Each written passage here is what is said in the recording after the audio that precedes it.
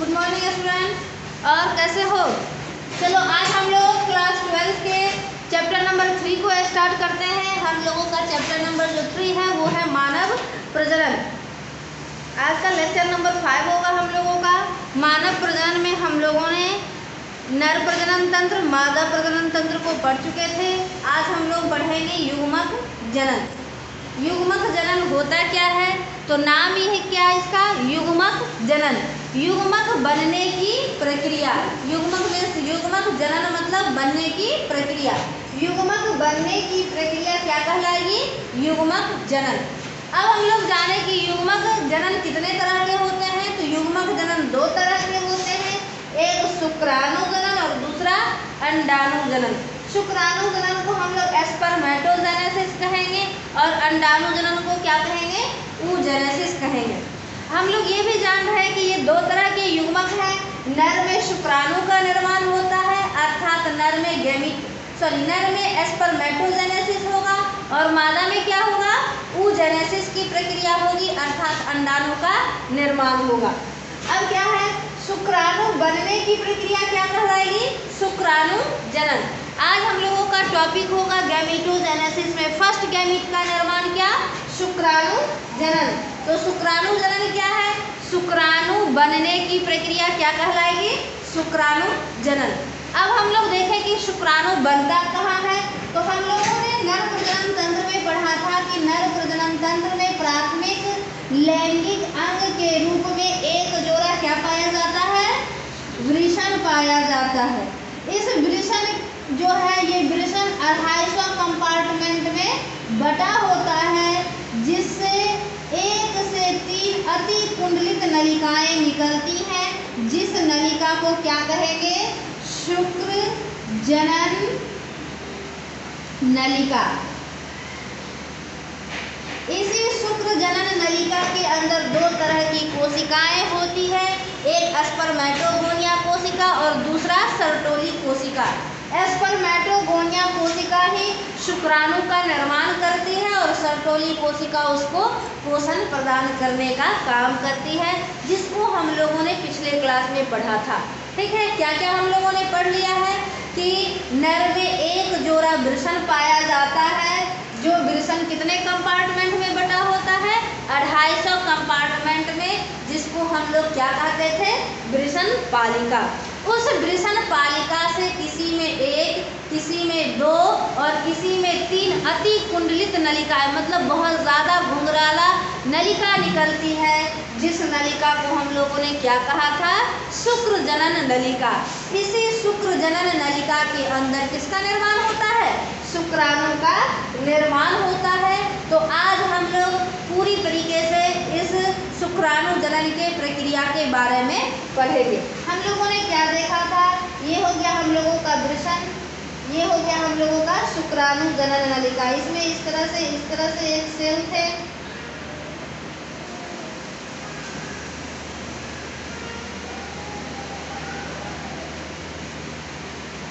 ये जो सेल है इस सेल को हम लोगों ने क्या कहा था सरटोली कोशिका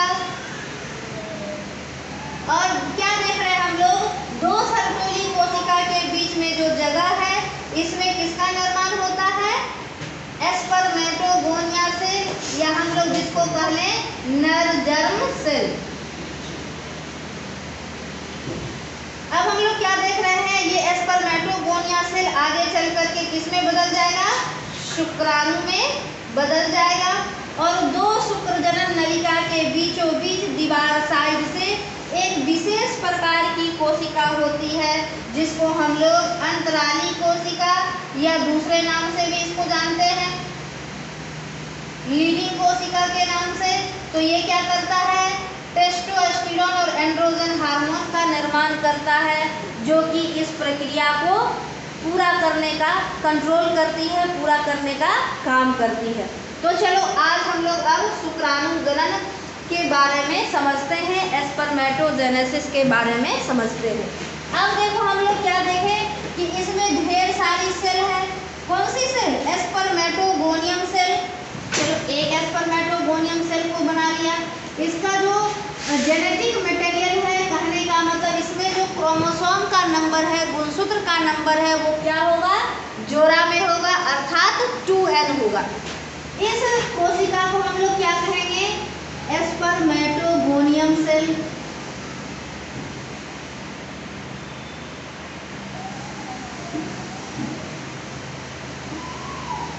कोशिका। या इसका दूसरा नाम आदि जनन कोशिका भी होता है। आदि जनन कोशिका। ये जो एस्पर्मेटोगोनिया सेल है, वो एक तरह का एस्टेम सेल है। कैसा सेल है? एस्टेम सेल। एस्टेम सेल का क्या मतलब हो गया? वैसी कोशिका जिसमें विभाजन की अनलिमिटेड कैपेसिटी पाई जाती हो। मतलब विभाजन कितना भी बार होते रहेगा, लेकिन कोशिका उसमें खत्म नहीं होगा। कौन सा विभाजन? तो समसूत्री विभाजन, माइटोसिस डिवीज़न। तो ये जो एस्पर्मेटोगोनिया सेल है, आदि जनन कोशिका है, उसमें बार बार क्या होता है? समसूत्री विभाजन तो पहला समसूत्री विभाजन हम लोग यहाँ करा देते हैं। एक समसूत्री विभाजन से एक कोशिका से दो कोशिका का निर्माण हो जाता है।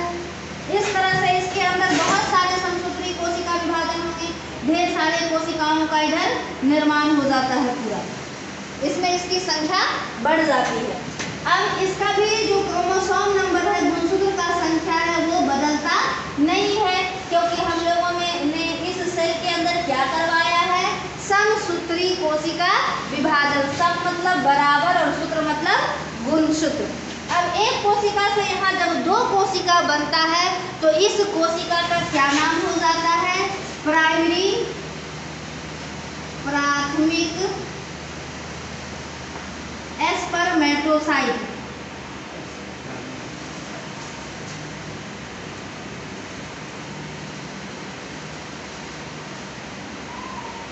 प्राइमरी एस्पर्मेटोसाइट अब इस प्राइमरी एस्पर्मेटोसाइट के अंदर क्या होता है? अर्धसूत्र विभाजन शुरू हो जाता है। कौन सा विभाजन? अर्धसूत्री विभाजन। एक बार सर्वसूत्री और दूसरा बार कौन सा विभाजन? अर्धसूत्री विभाजन। अब बहुत बच्चे को सेल साइकिल नहीं पता होगा, कोशिका विभाजन नहीं पता होगा तो मैं थोड़ा सा बता देती हूँ कि अर्धसूत्री विभाग कोशिका विभाजन जो है, वो दो चक्र में पूरा होता है। क्या दो चक्र में? तो एक कोशिका है टू एन इसमें एक बार विभाजन हो गया, फ़र्स्ट स्टेज अर्धसूत्री विभाजन।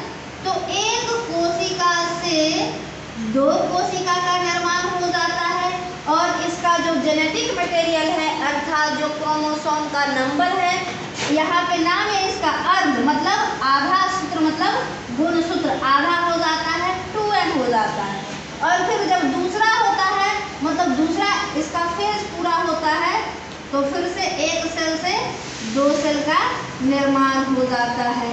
अतः एक कोशिका अर्धसूत्री विभाजन होने से हम लोगों को रिज़ल्ट के रूप में कितनी कोशिकाएँ मिलती हैं? चार कोशिकाएँ। और इन चारों का जो गुणसूत्र का संख्या होता है, वो कितना होता है? जितना मम्मी पापा के सेल में होगा, उसका आधा हो जाता है पेरेंट सेल के हाफ़ हो जाता है। क्लियर बस अभी इतना ही समझना है सेल साइकिल को भी विस्तृत से हम यहाँ नहीं करवा करवा सकते। तो फिर इसी तरह से हम लोग देखते हैं कि जब हम लोग इसको अर्धसूत्री विभाजन करवाते हैं तो यहाँ एक कोशिका से कितनी कोशिकाएँ बन गई पहली बार में दो कोशिकाएँ, जिसमें गुणसूत्र की संख्या आधी हो गई, और फिर जब दूसरा इसका अर्धसूत्री विभाजन का दूसरा फ़ेज़ पूरा हो जाएगा तो फिर से दो और कोशिकाओं का निर्माण हो जाता है, जिसमें गुणसूत्र की संख्या आधी हो जाती है। अब इसका नाम क्या हो जाता है? द्वितीयक शुक्र जनन कोशिका या द्वितीयक एस्पर्मेटोसाइट द्वितीयक एस्पर्मेटोसाइट अब ये जो द्वितीयक एस्पर्मेटोसाइट है, देखने में कैसा लग रहा है? गोल गोल आलू की तरह, जिसको हम लोग क्या कहते हैं? एस्पर्मेटिड्स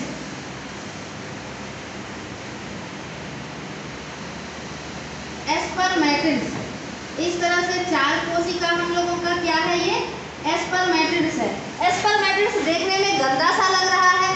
तो जब एस्पर्मेटिड्स गोल गोल है, इसका सेप थोड़ा सा चेंज होगा, लंबा हो जाएगा और इसमें पूछ लग जाएगा, तब हम लोग इसको क्या कहेंगे? शुक्राणु। इस तरह से जब इसका आकार थोड़ा सा लंबा हो जाता है और इसमें पूछ लग जाता है, तब ये क्या कहलाता है? शुक्राणु कहलाता है। और एस्पर्मेटिड्स से शुक्राणु बनने की प्रक्रिया एस्पर्मियोजेनेसिस कहलाती है।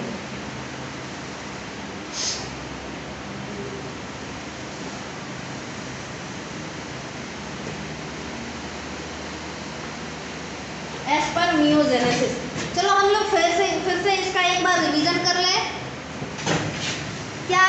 तो सबसे पहले युग्मक जनन होता क्या है? जनन मतलब बनना, उत्पन्न होना। किसका युग्मक का उत्पन्न होना तो युग्मक बनने की प्रक्रिया क्या कहलाएगी?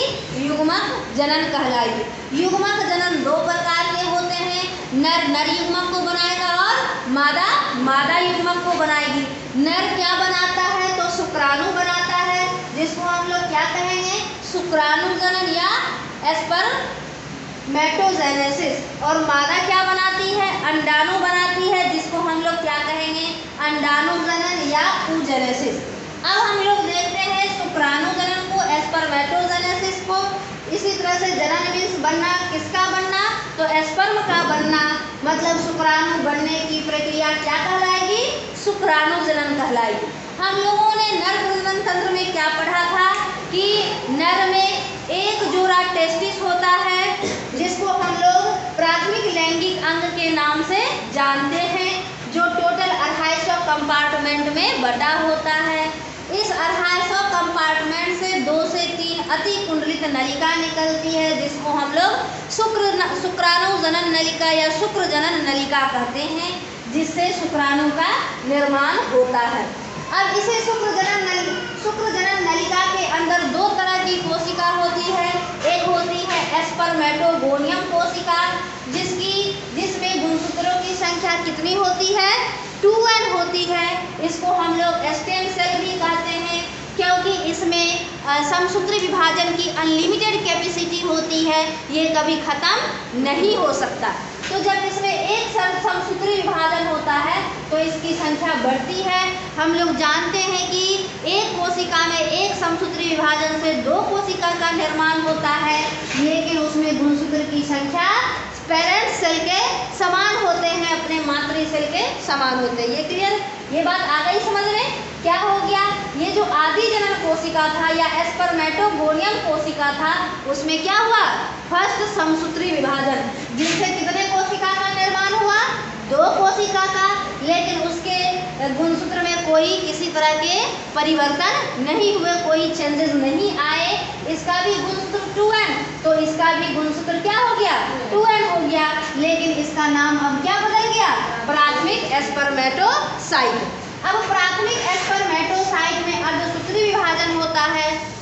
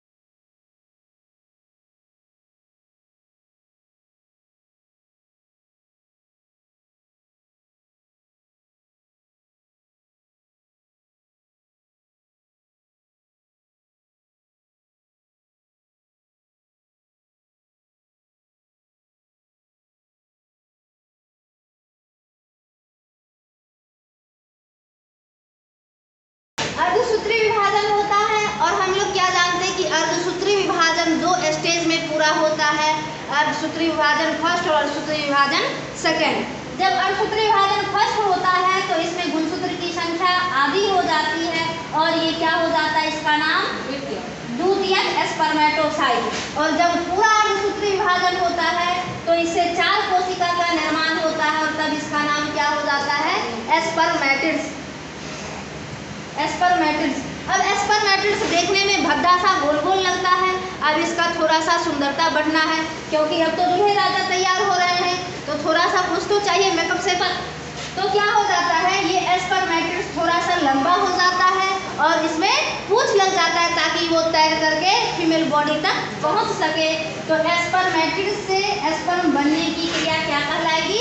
एस्पर्मियोजेनेसिस ये बहुत, ये टर्मिनोलॉजी बहुत इंपॉर्टेंट है, इसको ऑब्जेक्टिव में पूछता है, नीट में भी पूछता है और बोर्ड एग्ज़ाम में भी पूछता है। क्या?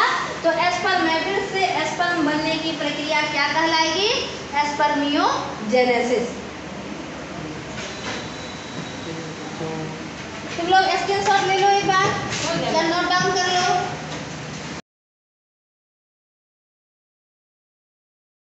देखो शुक्राणुजनन में कौन कौन से स्टेप्स आते हैं। तो शुक्राणुजनन की जो प्रक्रिया है, वह नर में 12 से 13 वर्ष की अवस्था में स्टार्ट होती है, जब प्यूबर्टी हिट करता है। शुक्राणुजनन की जो ये क्रिया होती है, वो कहाँ होती है? तो नलिका के अंदर होती है। शुक्र जनन नलिका के अंदर कोशिका होता है, जिसका नाम आदि जनन कोशिका या इसको हम लोग एस्पर्मेटोगोनिया सेल कहते हैं। इस एस्पर्मेटोगोनिया सेल में अनलिमिटेड डिवीज़न की कैपेसिटी पाई जाती है। ये बार बार समसूत्र विभाजन करके अपनी संख्या को इंक्रीज करता है, बढ़ाता है। जब इसकी संख्या बढ़ जाती है, तब इसमें, तब इसका नाम बदल करके प्राथमिक एस्पर्मेटोसाइट है। और इस प्राथमिक एस्पर्मेटोसाइट में अर्धसूत्री विभाजन की क्रिया होती है और अर्धसूत्री विभाजन दो चक्र में पूरा होता है। एक चक्र में एक कोशिका से दो कोशिका बनता है, तब इसका नाम बदल करके सेकेंडरी एस्पर्मेटोसाइट हो जाता है।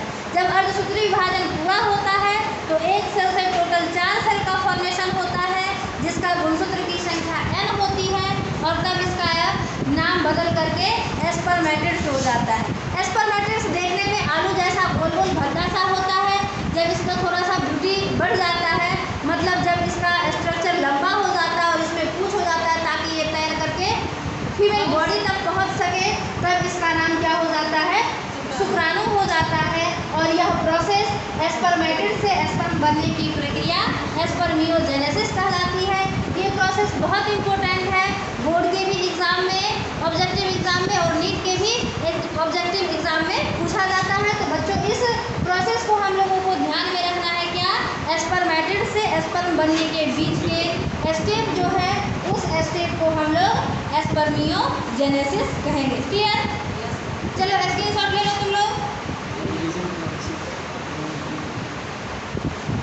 एक बार हम लोग फिर से इसको देख लें क्या हो गया तो जो हम लोगों का शुक्र शुक्राणु जनन नलिका थी उसमें एक सेल पाया जाता है जिस सेल को हम लोग आदि जनन कोशिका या एस्पर्मेटोगोनिया सेल कहेंगे इस एस्पर्मेटोगोनिया सेल में पहली बार समसूत्री विभाजन की क्रिया होगी जिससे एक सेल से दो सेल का निर्माण होगा और गुणसूत्र की संख्या उसमें टू एन ही रह जाएगी। तब इसका नाम बदल करके क्या हो जाएगा? प्राथमिक एस्पर्मेटोसाइट अब इस प्राथमिक एस्पर्मेटोसाइट में अर्धसूत्री कोशिका विभाजन होगी और हम लोग जानते हैं कि अर्धसूत्री कोशिका विभाजन दो स्टेप में पूरा होता है।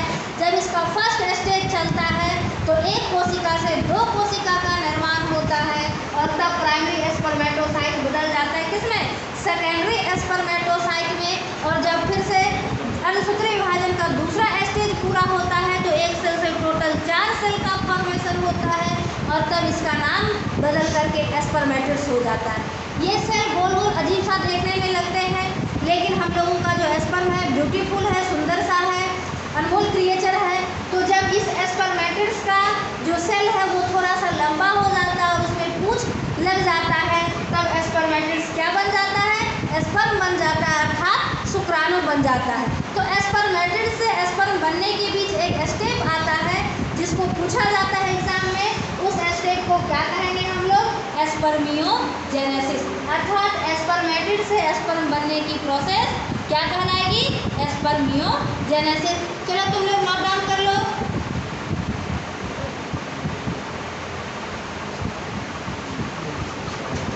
ठीक है तो तुम लोग नोट डाउन कर लिए होगे चलो ज़्यादा से ज़्यादा अच्छे से पढ़ करके समझना और हमारे चैनल को सब्सक्राइब